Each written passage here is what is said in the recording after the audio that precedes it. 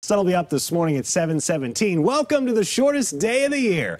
It's the winter solstice. Yeah, not a whole lot of daylight today, and we are going to see a lot of the sunshine covered up with some cloud cover today as well. But that will not stop our warming too much. I still think we'll get up near 60 degrees this afternoon. This morning, we have teens, 20s, 30s, and 40s, and that's just here along the front range. It's 16 degrees in Greeley, 36 in Boulder, 47 up in Cheyenne.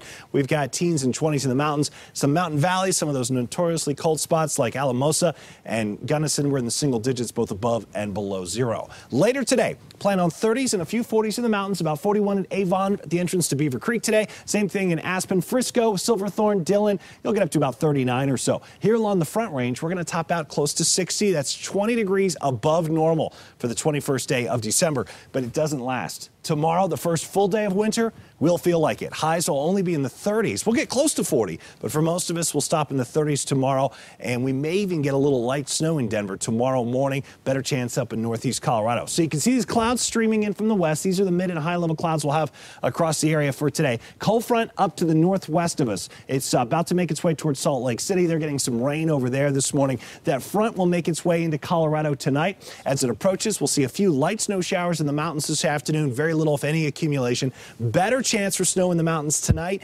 into tomorrow. We will get some fresh snow at the ski areas for Saturday. And then here's tomorrow. It's 9 a.m. Still snowing in the mountains and a little bit of light snow along the front range and especially up along I-76 from Fort Morgan all the way up to Julesburg tomorrow. There won't be much in terms of accumulation, but anywhere from a trace to an inch possible there. Maybe a dusting on the grass here in Denver. There is a winter weather advisory from 8 p.m. today until 5 p.m. tomorrow. Mountains west of Vail Pass looking at 4 to 8 inches of snow. Summit County, Winter Park talking 2 to 5 inches. Same thing up around Estes Park. I also want to mention we have red flag warning for high fire danger today from Colorado Springs to Pueblo all the way down to Trinidad. So 60 today, down to 39 tomorrow. Sunny and dry for most of the state Sunday, Monday, and Tuesday. Maybe a little snow in the mountains at times. And then we're looking at the first of two big storms that could impact us coming in Tuesday night into Wednesday next week, and another one going into next weekend.